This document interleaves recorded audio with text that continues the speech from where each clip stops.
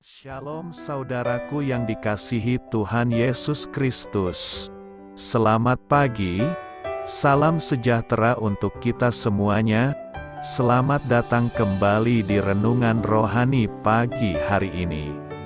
Semoga saudara yang terkasih dalam keadaan sehat selalu, kiranya damai dan sukacita Roh Kudus melimpah di dalam hati dan pikiran saudara saat ini. Sebelum kita mulai renungan pagi ini, marilah kita bersama-sama berdoa. Tuhan Yesus, terima kasih sudah membangunkanku pagi hari ini.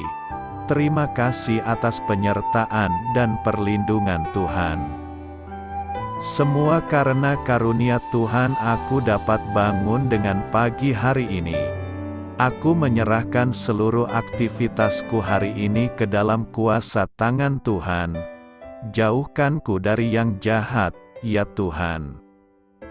Tuhan Yesus, tolong lindungi dan berkati aktivitasku hari ini.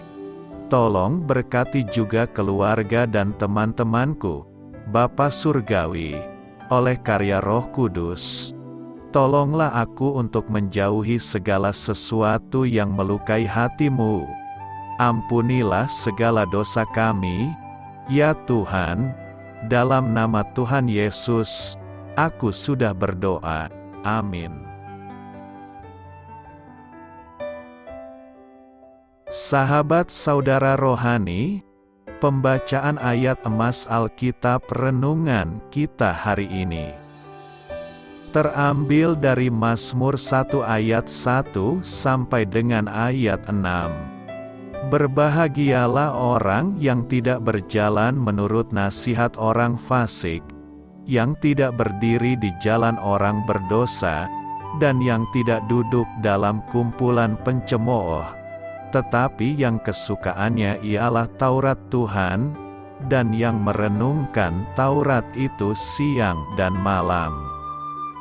Ia seperti pohon yang ditanam di tepi aliran air, yang menghasilkan buahnya pada musimnya, dan yang tidak layu daunnya, apa saja yang diperbuatnya berhasil. Bukan demikian orang fasik, mereka seperti sekam yang ditiupkan angin. Sebab itu orang fasik tidak akan tahan dalam penghakiman begitu pula orang berdosa dalam perkumpulan orang benar. Sebab Tuhan mengenal jalan orang benar, tetapi jalan orang fasik menuju kebinasaan. Mazmur 1 ayat 1 sampai dengan ayat 6. Inti dari ayat emas renungan kita adalah Berbahagialah orang yang merenungkan Taurat itu siang dan malam.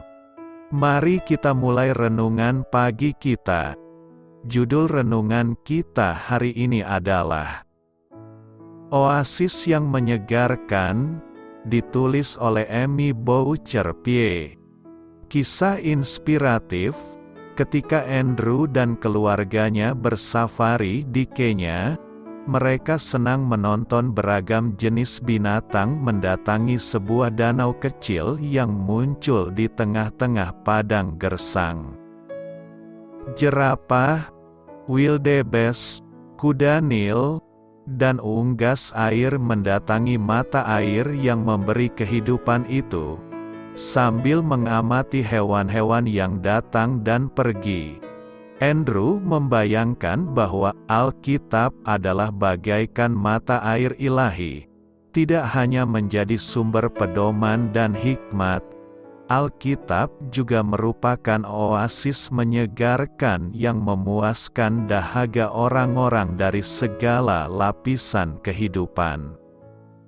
Pengamatan Andrew menggemakan perkataan pemazmur yang menyebut mereka yang menyukai dan merenungkan Taurat Tuhan. Istilah yang digunakan dalam Perjanjian Lama untuk menggambarkan instruksi dan perintahnya sebagai orang-orang yang berbahagia. Mereka yang merenungkan kitab suci adalah seperti pohon yang ditanam di tepi aliran air, yang menghasilkan buahnya pada musimnya, seperti akar pohon menjulur ke dalam tanah untuk mencari mata air yang menyegarkan. Orang-orang yang sungguh-sungguh mempercayai dan mengasihi Allah akan menancapkan akar hidup mereka kuat-kuat di dalam kitab suci dan menemukan kekuatan yang mereka butuhkan. Penyerahan diri kita kepada hikmat Allah akan menjaga fondasi hidup kita tetap teguh di dalam Dia. Kita tidak akan seperti sekam yang ditiupkan angin dengan merenungkan apa yang telah Allah berikan kepada kita dalam Alkitab. Kita memperoleh asupan rohani yang memampukan kita untuk menghasilkan buah yang bertahan lama. Amin. Marilah kita renungkan di dalam hati kita. Bagaimana Alkitab telah menjadi fondasi bagi hidup Anda? Apa yang dapat menolong Anda untuk merenungkan kitab suci sepanjang hari? Hal ini patut kamu ketahui. Mazmur 1 memperkenalkan seluruh kitab Mazmur kepada pembacanya. Mazmur ini memulai tema tentang perintah Allah, hukum atau Taurat, dan mengantisipasi dua pilihan jalan yang akan dihadapi oleh mereka yang membaca atau mendengar kitab Mazmur. Memilih untuk setia kepada Allah dan menemukan hidup, atau memilih kefasikan dan menemukan penghakiman. Kedua tema tentang kebenaran dan kefasikan tersebut akan disingkapkan di sepanjang kitab. Beberapa Mazmur berbicara tentang Allah yang dapat diandalkan.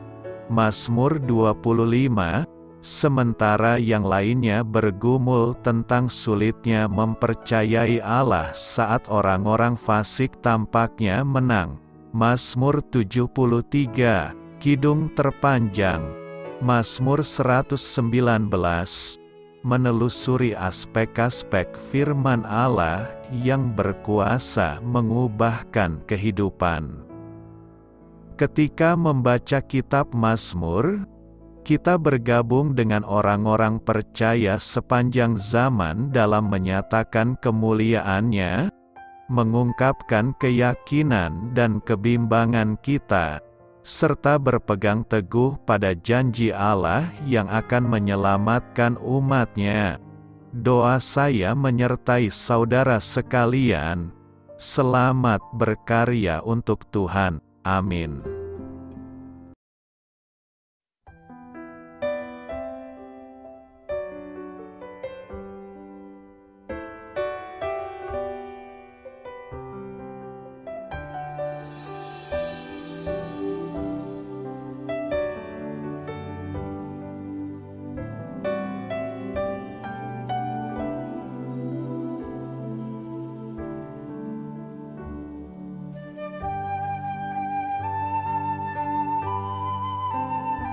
Marilah kita renungkan sahabat saudara rohani.